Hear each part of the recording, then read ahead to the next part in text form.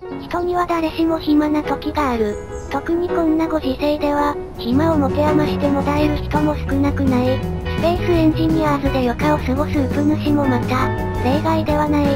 そんなウプ主が、押し入れから引っ張り出してきたのが、これである。こんな時にプラモデルを作るのは、能天気ではあるが、悪い選択肢ではない。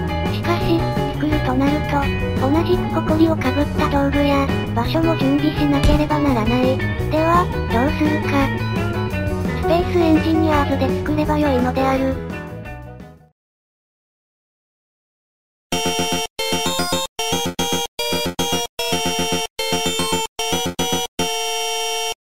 ESP 戦闘爆撃機ソルバルーン。スペースエンジニアーズでここに蘇る。元ネタは、意外なことにウィン鍵盤がないゼビウスである。この角度にすると、ゼビウスに見えませんかね見えませんかすみません。ちなみに今時の高校生に聞いたら、ゼビウス知らんかった。ショック。照準はプロジェクターで再現してます。ネタ用の平面だけでなく、実用のために立てることができます。もともとスペースエンジニアの照準は見にくいので、老眼でも安心。作ってみたら案外使いやすかったりして、びっくり。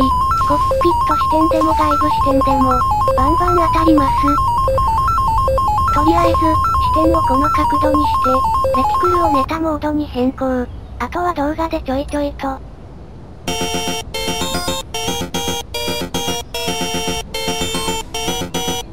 全再現。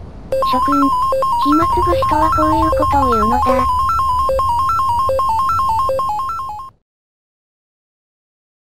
せっかく作ったので、機体にも触れていきます。今回、オープンコックピットを使って作っているので、外から乗り込むにはここからどうぞ。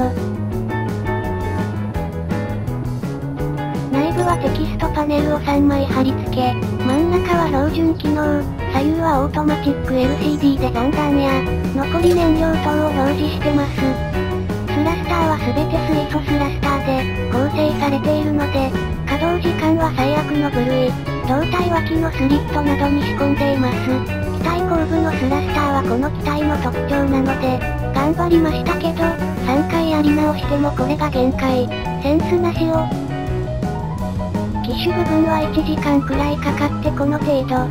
機体中央部はもっとシュッとさせたかったんですが、安いおもちゃみたいになっちゃうので、あえてゴツゴツに、どっちかというと上から見てファミコン版みたいになるように変えてます。照準はあらかじめブロックで作ってブループリントか、スモールブロックで作らないといけないので、結構めんどくさいです。でも、思ってたよりそれっぽい。武装は対空用のザッパーと機種についた対地用ブラスター、と言いたいところですが、そんなものないので、ガトリングにモンとロケットで代用してます。ザッパーの位置は設定だと胴体についてますが、主翼につけた方がゲームに近い見え方がするので、主翼につけてます。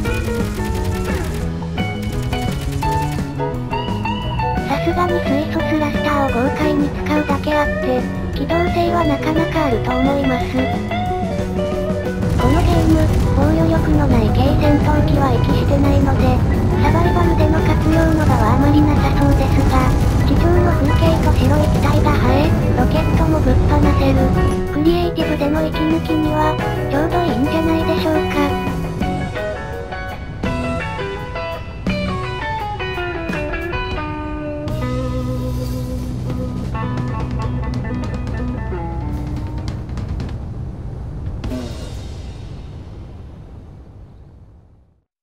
いかがだったでしょうか？